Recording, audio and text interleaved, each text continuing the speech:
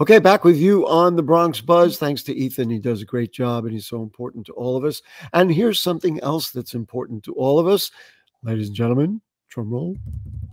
The, the, the Mott Haven Film Festival, my buddy Nikos, Ninoska Carolina. Yeah. Nice to see you, Ninoska. Uh, nice to see you too. Thank you for having me today. So um, here we are now. Let's see, fourth. This is the fourth uh, time we're doing the Mott Haven Film Festival. Do tell. Yes, fourth fourth year. We're very excited. Um, we are screening about uh, 25 films. Two of 25. them are feature films. Yes, 25. Uh, two of them are feature films. One of them is a music video, which I'm very excited about. And the rest are short films. And I couldn't be more thrilled, me and the team. Um, so uh, let's see. Now it's um, Thursday the 19th uh, through the 22nd. Um, how do people yes. see? Let's do that, and then we'll rewind and talk about um, the specifics of the films, etc. But mm-hmm. where, where do people see the films? How, how do how do we participate in the Mott Haven Film Festival? Yes, so October 19th is our opening night. Um, it will be taking place it will be taken. Oh my God, I can't say, do the sentence now. it will take place at the Bronx Brewery uh, from six to nine. Uh, we will be screening uh, four films from previous years. So we will have something in each category, like um, horror and comedy and such. And that's basically our networking night. But then the actual screenings are going to be taking place uh, Friday, the 20th, the 21st, and the 22nd and that will be taking place at Lincoln at the Lincoln Hospital Auditorium. Oh, that's wonderful! So the first yes. night is at the Bronx Brewery. Yes, and you're probably not going to be able to get the same refreshments at Lincoln Hospital that you get no, at the Bronx Brewery, all, right? which is actually a wonderful place. Are they going to do it yes. outside, or uh, I guess? Wow, that that'll be yes, really. Yes, we're going to do it at the backyard, which I'm what really a, excited about. Yeah, very very exciting. Um, how do how do films get selected? Uh, so we have a committee, right? And each person in the committee uh, watches the film, and then they kind of like have a grading system. And then they come together and they say, "Well, we're gonna, you know, pick this one, this one, this one, this one," and mm-hmm. then, and then if I I don't partake in that decision making, but if there's a film that I really did like and it wasn't selected, I kind of, you know, do my trump card. How, how many? How many people? How many people are on that committee? Uh, four four people and yeah. are the, they're um, local people they're filmmakers um, yes, you know they're filmmakers um, and each of them have like a particular um, what's the word uh, like a particular specialty right and right. so one of them is a director the other one does uh, dp right. which is director of photography um, and then we have a sound and an editor so they come together and they see things a little bit differently from each other, which mm. is a mm. good thing. Which is a great thing. How, yes. how um how many do you get in? Like a uh, you know, there, is there like a big volume of it? Do you have to like call people and say, "Hey, what do you got now?" you know, what, how does it work? So we have been fortunate enough that we have had overall, I would say have almost 300 submissions within the four Three, years. Wait, with the four years, okay, but still, years, that's yeah. that's uh, significant. Yeah. That's like 150 a year. Right, exactly. And so it's it's pretty inter- you know, it's it's pretty good because we have um a lot of people that come and and they submit like every cycle, right? And it's really nice to see one particular director like just grow throughout the years, right? And so we're wow. very happy for those people as well that they keep supporting us that way. And and yeah, we this year we had about roughly 50 submissions. Wow. And so, you know, due to 10 constraints and other things, we had to really narrow it down to 25. But um but the decision is never hard, you know. That's always the hard part. Like are, are, no are you um are you ever surprised at, at that volume? I'm I'm surprised at that volume. Um and what it says to me is of course what I know about our home borough, the Bronx, that that it's a wonderful place and we just all we're bursting with creativity that nobody knows about. I mean, that's what this is all about. Right. And that's um that's something that really became evidence the very first year that we did this, right? So in 2020, when we were having our inaugural event, we had, I believe, give or take like 40 to 50 submissions. And that was in our first year. So that to me said, this is about 50 people that want a film festival in their borough. And so, you know, we've just been able to grow year after year, and I'm excited about that. I'm wow. really happy that we're able to give that avenue of expression to, filmmakers. Uh, uh, you know, I don't even know. Remember if I asked you this? Obviously, it's not your first time on the program. Mm, are, are you a filmmaker? Have you been a filmmaker? Or th- this is not? That's not your thing. Your thing is to help promote the arts. So my um, excuse me. So my background is actually in PR and communications. But uh, my sister, which is the director of the film committee, she's the filmmaker of the family, and so she um I saw all the struggles and the hardships that she was going through behind the scenes and that's basically what triggered the entire idea of having a film festival in the Bronx. Because it's it's something about having a skeleton crew maybe two people right? One person right. holding the camera and the other person acting um, that really just shows the dedication that they have to this art form and I, I wanted to kind of like give back to the community and this was my way of giving back to provide such a service. Tremendous! It, it's yes. a true, it's a tremendous thing. Um, last question before we show um, a couple of clips. Um, have you found that the uh, quality has improved over time? I realize it's not 30 years like BronxNet 30 yeah. years, but right. but it, but it's four four years. Have you because I'll tell you the the clip we're about to show. Woo! right. it's, yeah. it's really a film.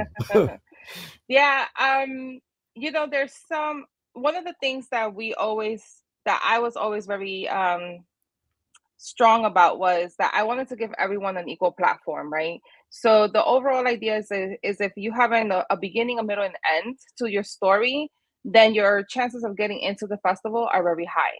Um, we we understand that there's students out there. We understand that there's people that are learning the you know the tricks of the trade through like youtube for instance and then there are those that do go to film school right or some sort of certificate right. program there's, there's and, people at all different levels right exactly and so um some people you know film on their iphones right? right and some people actually rent the cameras so that's something that over time you you appreciate you appreciate and they get better and mm-hmm. better so this first one um well i i mean we're just we're just going to show it uh, I would say to people, uh, you might want to put your seatbelt on because this is um, it'll scare you. Uh, so here we go. Let's uh, let Anderson roll the magic box and uh, let's see what it looks like. On edge as the urgent search continues for a possible serial killer or killers.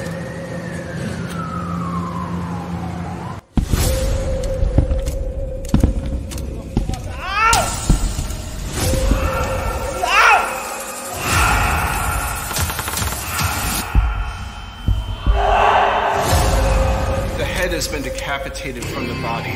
The lower extremities have recent surgical wounds. Surgical wounds?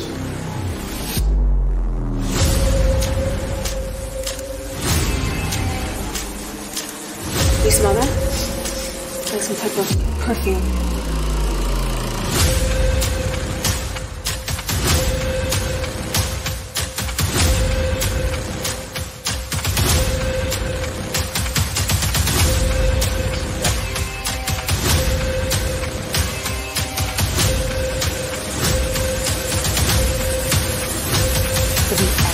Vigilant and do not walk alone.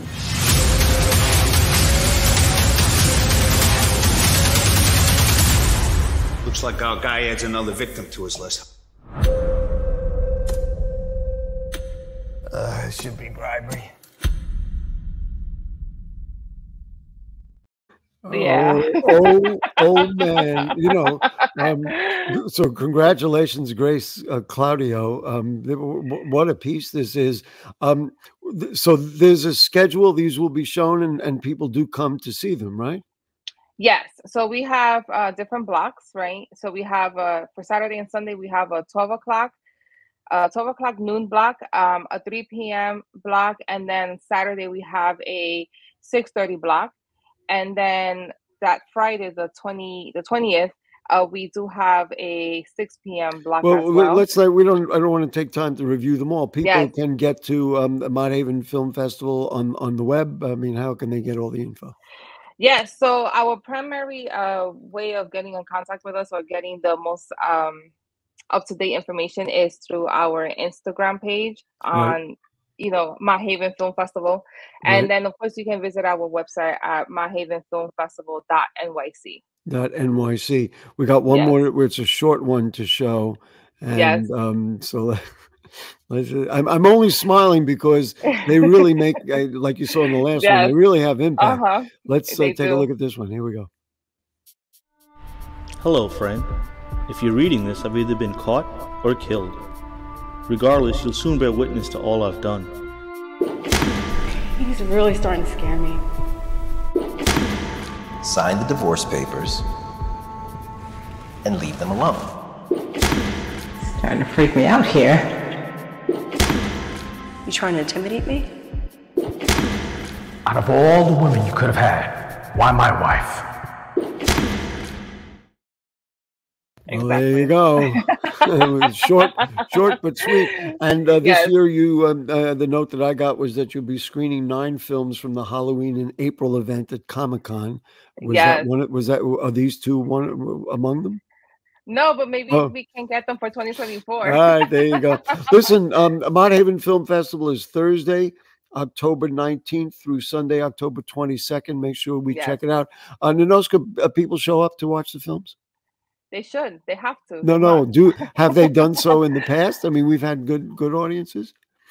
Yes, we have. Yeah, we had you know sold out shows, and then we had shows that only two or three people show up. You know, we had a, a little bit of everything, which is fine. have have you changed it through the four years? Have you said, um, well, last year it didn't work, or once you defined what you were going to do, it was the same thing throughout? Um, we've added days, so um, Because there are more what- films and you got to do more. exactly. Wow. Mhm. So it's gotten larger. Um, Yes. Does it ever surprise you how much creativity there is in the uh, Bronx? I understand 90% of the filmmakers are from our home borough. Um, no, it doesn't surprise me. It just surprises me that we didn't have a film festival um, Ah, you go. beforehand. Yeah. Um, but and listen, there's the 48 hour film challenge. You know, there's people Right. making films. This is a real important thing. It's important to BronxNet. Of course, we have our Wednesday film series as well. Um, Mhm. Ninoska Carolina, thank you. Congratulations, ladies and gentlemen. Mott Haven Film Festival. Look for them online. Look for them on Instagram, and uh, we'll see you around town. I'm sure. Yes.